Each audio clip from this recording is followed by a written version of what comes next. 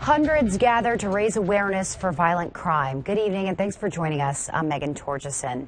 They gathered for walk to a walk to benefit a nonprofit started by the family of Darien Richardson. Richardson died from complications from a gunshot wound she suffered during a home invasion and today friends and family celebrated her life and hoped to raise awareness for other victims. A large group walks back Cove in Portland in honor of Darien Richardson. Every year we have more and more people come. I think we, um, people hear about us, want to be a part of it.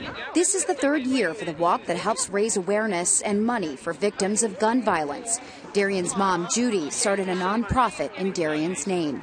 We hear about shootings and we hear about terrible things to happen, but you don't hear what happens to the victim after and how they have to rebuild their life. And there's not a lot of resources that help guide that. Richardson was shot in her Portland apartment in 2010.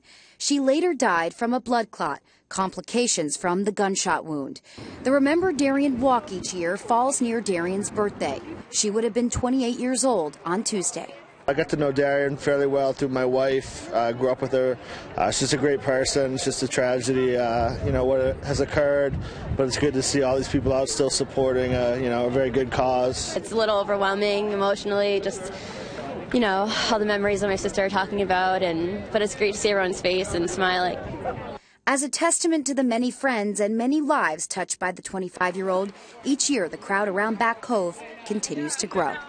I think she would she would be amazed. She probably would be very happy.